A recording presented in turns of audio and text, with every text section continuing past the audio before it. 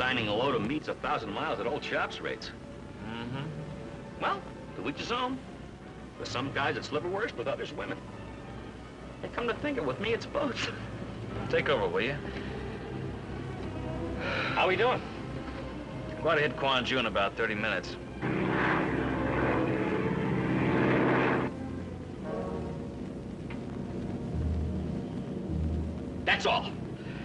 Can't stand it anymore, that's all. What's the matter? Take over, chum. Where are you going? That away. What for? To eat, Terry, my lad.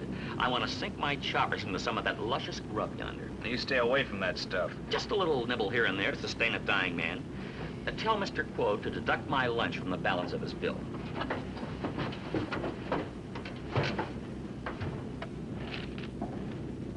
Sure you won't join me, chum? Nope. What self-control? Three things a man should never say no to. Money, maidens, and...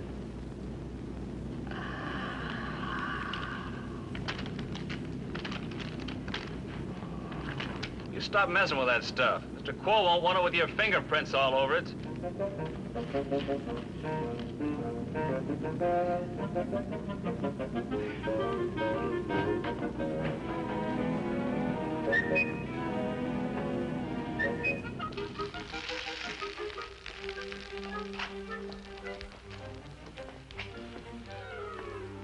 Of all the dirty tricks. Oh, calm down, Mama. Take it easy. No sense percolating over split dates. Well, the least he could have done was phone me. I'd have made other arrangements. After all, Terry Lee isn't the only man in town. Oh, but some man, huh? Besides, there was a big bonus in the flight for you. Oh, sure. 500 slices of lettuce. That's a lot of moolah, too. Besides, old Chopstick was supposed to have phoned you to square things for my flyboy. But I forgot in the rush of super important business. You mean that? Oh, sure thing. Uh, clever jokers, the Chinese. But they missed a good bet when they never cooked up a hamburger with onions. How about one for you, Burma? Guaranteed to soothe those stood-up nerves. No, thanks. Oh, Captain Tang. Just in time for chow. Here on urgent business. This is Lieutenant Colonel Carter, United States Army Security Division. Would like to ask you a few questions. Okay, Colonel. Shoot. Always glad to help out Uncle Sam. Have you ever seen this man? Oh, sure. That's Mr. Sullivan. When did you see Sullivan last? Oh, this afternoon. 3.05 to be exact. He slapped a bundle of loot in my hand. Advance payment for a shipment of meats consigned to Mr. Quo in Indochina. He's a good Joe, that Mr. Sullivan. Is he? Oh, sure. If there's one thing all chops can spot, it's character. Well, old chops, Mr. Sullivan is now under military arrest. And that cargo meat your pilots are flying isn't meat at all. It's compound C3, stolen from Army installations, and bound not for a Mr. Cole, but that renegade, John Basil. Basil? Colonel, is this as serious as it sounds? Do you know what compound C3 is? No. It's a substance like putty. It can be shaped into any form and thus easily disguised. Mr. Sullivan had to disguise his meat so it could be transported under some type of refrigeration because that's the safest way to transport it. One moment, Colonel. You're sailing way over my head. Safest? That's right. Hit that meat, bounce it, drop it, jar it in any way, and it might explode. You'll be lucky if you ever see your plane or pilots again. Half the fun of having feet. Red goose shoes. The way they feel, the eye appeal from toe to heel, you know they're real. Red goose shoes. They'll take it. They're tough. Girls aren't that rough. Half the fun of having feet. Red goose shoes. Red goose shoes. You know what's always good news? Red Goose shoes. With Red Goose shoes, you always find not one, but many, many wonderful shoes to choose from. You boys are sure to like this smart Red Goose shoe, the Bryant, a moccasin-type latch Oxford of smooth brown leather. Notice the smart black binding all around the edges. This makes the Bryant a sharp, military-looking shoe. And best of all, this latch fastener snaps into place in one easy movement, just the thing for young men on the go. Boys, see the Bryant at your Red Goose store. It comes in black and in brown and in butternut grained leather, too. That's the Bryant. With your next pair of Red Goose shoes, there's something else to look forward to. A shiny ID bracelet engraved with your own name right at your Red Goose store. It's yours absolutely free. Now watch closely for the Red Goose dealer in your neighborhood.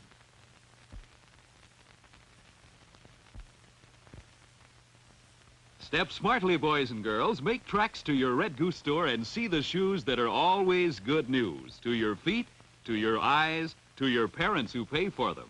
Those wonderful Red Goose shoes. You'll love them. Half the fun of having feet. Red goose shoes. Red goose shoes.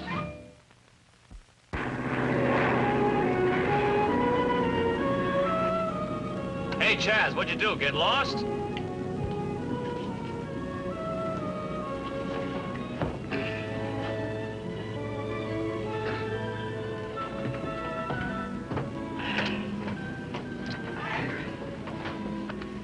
Now looking at a contented man. All right, contented man. We just passed over Quan Ju. Get on that radio. Hey, the Canton Dragons are on the Hong Kong Tigers four-yard line. Air Cathay to Flight Lee. Air Cathay to Flight Lee. Come in, Flight Lee. Guess I ate too much. Air Cathay to Flight Lee. Come in, Terry. Be careful, Terry. Don't light no matches. Don't hit no skyrocks. Don't jiggle plane. Please, Terry, come in. Calling Air Cathay Flight Sullivan. Here it is. Position X calling Air Cathay Flight Sullivan. Come in. Air Cathay, Flight Sullivan. Where'd he put this flying delicatessen down? Pay attention, Air Cathay Flight Sullivan. We'll direct you to a landing field. No soap. What can we do, Colonel? Well, there's a good chance the C-3 is packed safely. After all, Sullivan didn't ship it to have it explode in midair. The thing we'd like to do is get our hands on Basil and his gang. Mr. Sullivan's instructions were to fly the plane to the Quanju area, then bear due north. Radio would then pick up plane and direct same to Mr. Quo's private airfields in the hills. Captain, you contact the Indo-Chinese authorities and relay the information. Certainly, Colonel. I will keep in touch with you by mobile radio. You can help me if you like. Oh, sure, Colonel. Anything you say. After all, I've got a big investment in that plane. Plane? Oh, and pilots. You and I can fly north of Quanju and see if we can spot it. Fly? You mean you want me to fly? Of course. Oh, Colonel, I, I love that C-47. I, I like having the boys fly it for me. But to go up there and look for them, oh, no, Colonel. I, I'm a sick man. I, I've got claustrophobia. Listen, Chops, you've got to go. He's sky shy, Colonel, but you've got to make him go. Claustrophobia, indeed. I'm sorry, miss. I can't force him to save his own men and equipment. I've got it, Colonel. Commandeer me. Make it official on behalf of the USA. Please, Colonel. I'll go along, too. On behalf of the United States government, you hereby uh, volunteer to assist in the recovery of the missing compound C3. Huh, that's better. Come on. What are we waiting for? Let's go.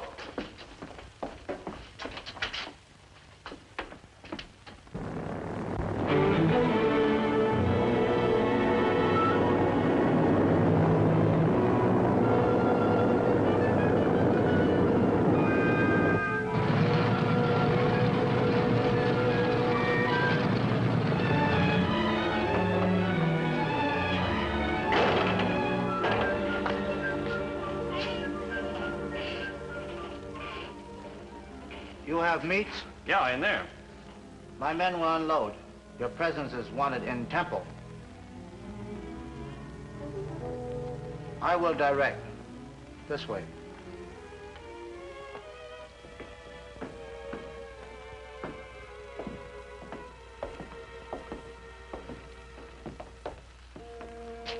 What do you make of it?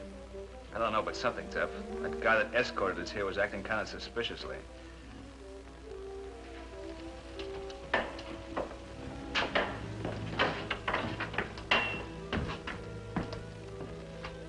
Welcome, gents. Right in time for a spot of dinner. Sorry, we won't have time to stay. Uh, we want to see Mr. Quo, now we better shove off. Ah, come off it now. You know better than that. There ain't no Mr. Quo here. What do you mean? You know what I mean, all right. There ain't no Mr. Quo and never has been. I'm the boss here. You know who I am. We haven't the slightest idea. Now, uh, give us the balance due on the cargo and we'll take off. That's a bit of comedy, all right. Now listen here. The moment I set foot in this room, I seen you recognize me. John Basil's face and uh, gang is too familiar. So for the time being, you remain in here as my guests. This guy's got a sense of humor. It can kill you.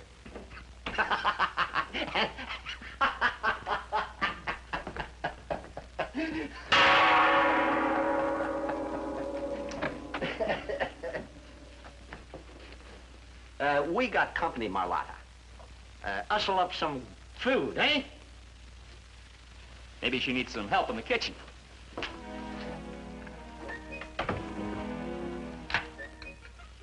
Well, you ain't eating, Captain Charles.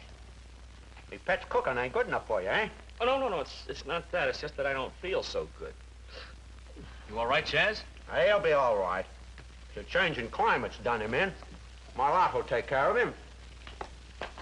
May I do something for you, sir? Yeah, you sure can.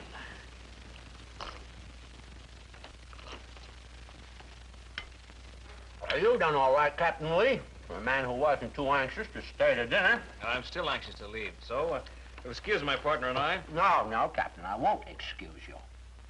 As I understand it, Mr. Basil, guests are usually free to come and go as they please.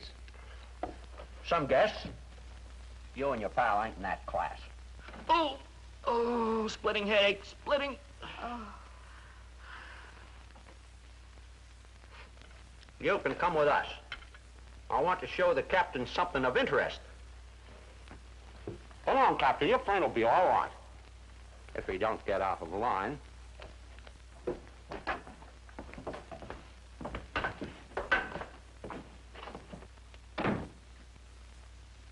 you are feeling better, Captain? No, much better. Oh, oh, oh, oh, oh, What's the matter? oh, shooting pain in my side. Oh, my poor Captain.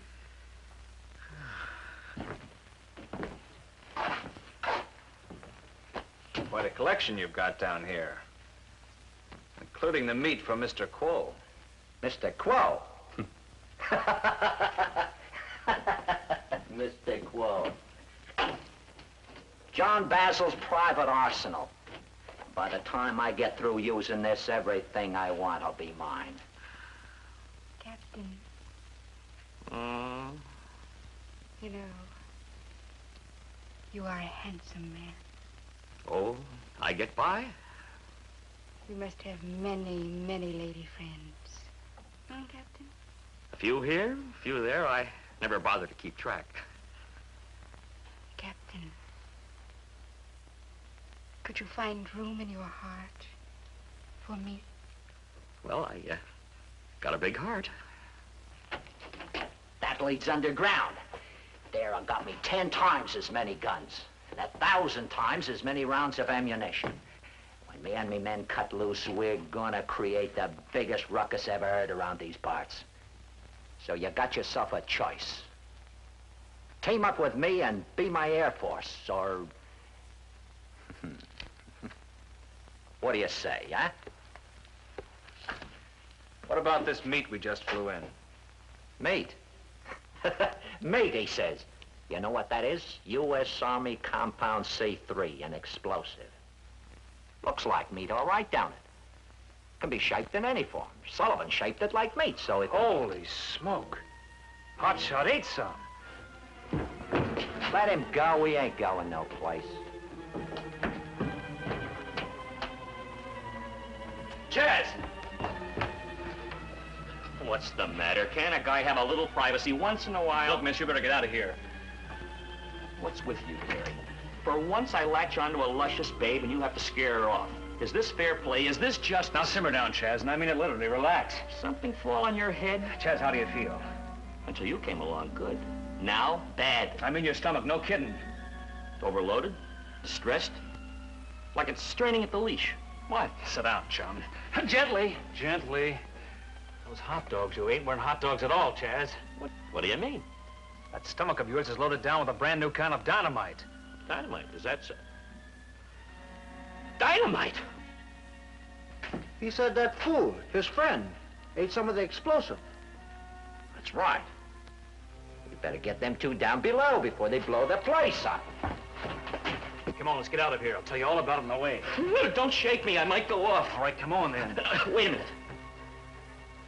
I gotta be careful. I'm loaded. What are you gonna do? Ice. Oh, keep cool, dynamite. All right, let's go. Where to? The plane in the nearest city and stomach pump. Wait a moment.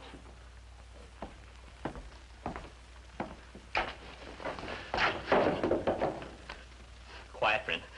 Quiet, don't go to pieces. Easy does it, chum. I'm a human bomb. Kid C3 compound himself. Take these two idiots down below. Get them out of here.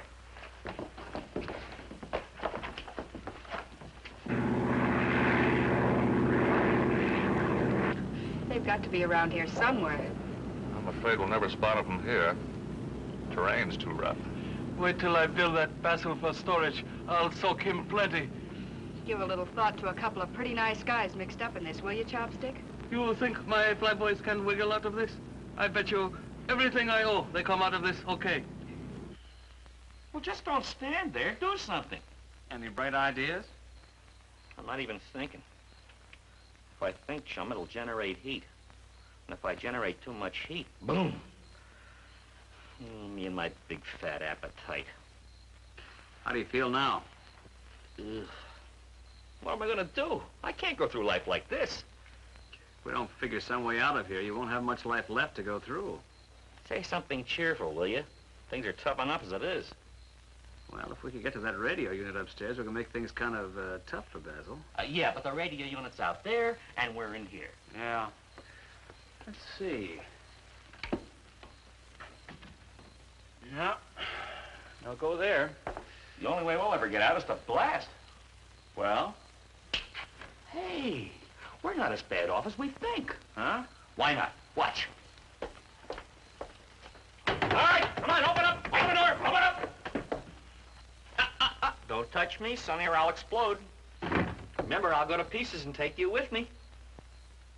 You see that, Terrence, my boy? The human bomb calls the shots. I tell you, kid, I'm dynamite. You heard him, Muggley. Step aside, or uh, I light his fuse.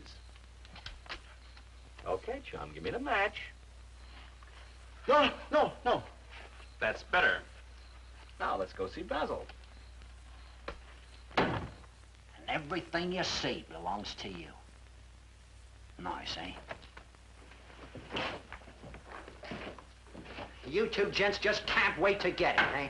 Use that gun in here and we all go together. Mind you, Terry, we could have chosen better company. What are you two maniacs talking about? It so happens I'm loaded with compound C3, uh, which quickly responds to such things as bullets, etc., cetera, et cetera. That's right. Such being the case, uh, your gun, please. Charles, in the event of anything unforeseen, it might be a good idea to get the young lady out of the room, huh? Come on, baby.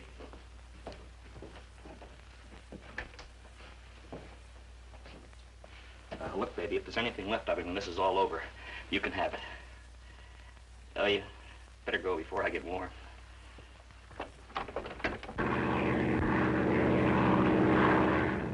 This is Captain Tang calling. Can you hear the Air Cathay flight emergency? Air Cathay flight emergency. We hear you, Captain Tang. Go ahead. Have contacted Indo-Chinese authorities. I am with police force, which has radio unit for communication with you. Now moving north of Quanju in search of Basil's camp and missing pilots. We'll keep channel open for messages from you. Over. All right, Captain. If we spot anything, we'll let you know. Off. Well, that's it. Now all we have to do is find the plane. What are you going to do? Like I told my friend, uh, the bomb here some time ago, Uh, it might be nice if we got a chance to use your radio. That's what my non-explosive comrade said. Shall we go? Better bolt the door, Chaz. We may be here a long time.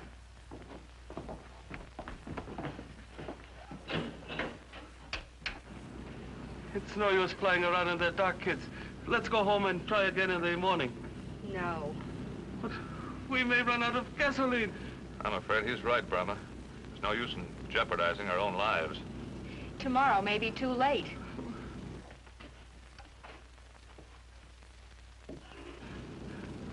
Circle the area once more, Colonel. Then let's... Urgent message.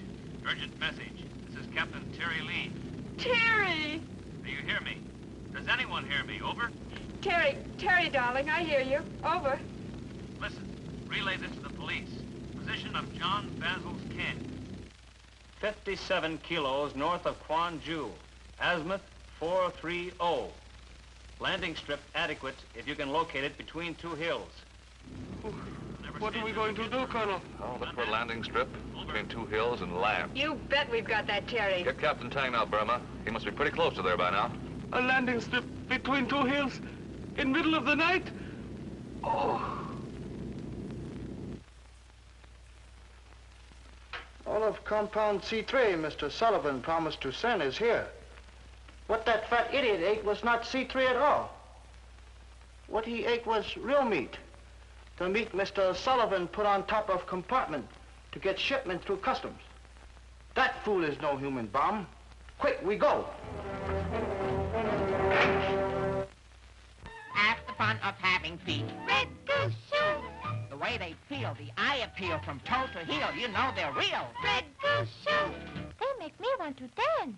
Dance? Not a chance. Half the fun of having feet. Red goose shoes. Red goose shoes. Just look at those red goose shoes, boys and girls. It's wonderful to know that they're just as comfortable as they are good looking. Like the Sway. That's the name of this snappy girl's black and white saddle Oxford. With the Sway's all crepe sole and heel, it's like walking on air, the very height of comfort.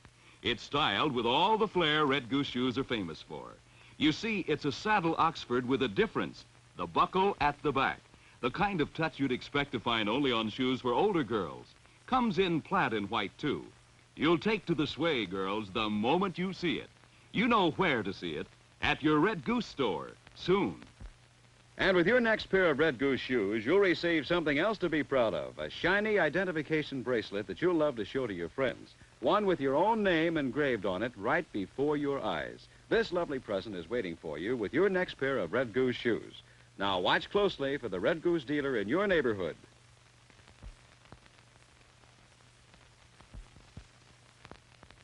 When you're looking for shoes, boys and girls, look for the Red Goose. And remember to look in the right shoe for the Red Goose label. Then you know you're getting real Red Goose shoes. Half the fun of having feet. Red goose shoes. Red goose shoes.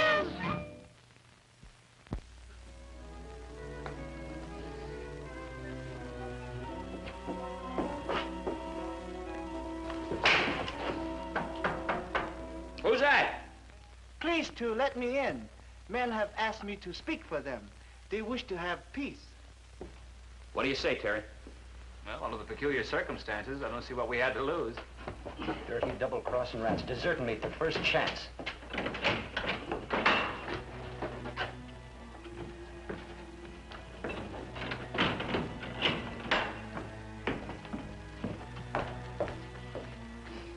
Where's your gun?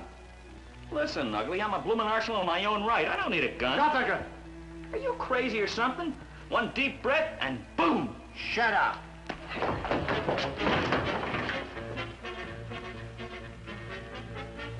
See? No explosion. You ate me, not compound C3.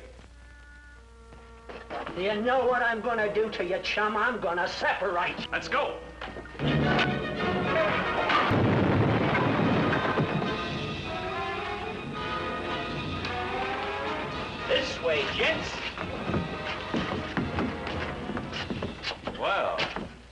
Makes quite a tableau, gentlemen. Yeah, cute, isn't it? Our reception committee is waiting for you upstairs, Captain Lee. Burma? All right, Mr. Basil and company, let's go.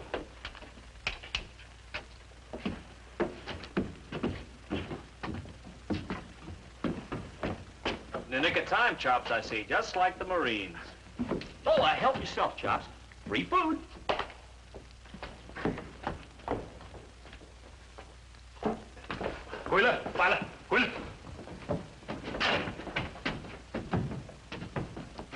He won't bother you anymore, miss.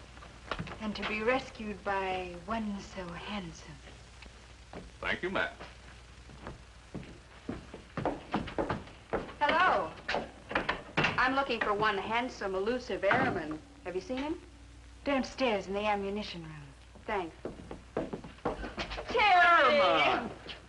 Baby! Oh, now look, baby, you're not gonna fight this, are you? First, I want to ask you something. That man, they call him Colonel. What does that mean? Well, that means he's an important man in the Army, Sugar. He's very handsome. Uh, yeah, but uh, too old, not in our class. He makes much money. Yeah, a fair amount. Now about us. Well? Well, well? Mm. This little pig stayed home. Quiet, Hummingbird, quiet. Chops is composing a literary masterpiece. Joy Ken. What did he say, Terry? Can you understand his dialect? He said, see you again. Oh, Pong Yao. When illustrious friends Tang Hap. gather for Tengu Jai. further exciting adventures of Further exciting adventures of Terry and the Pirates. Be with us again the next time we take off with Terry and the Pirates in another exciting high-altitude adventure.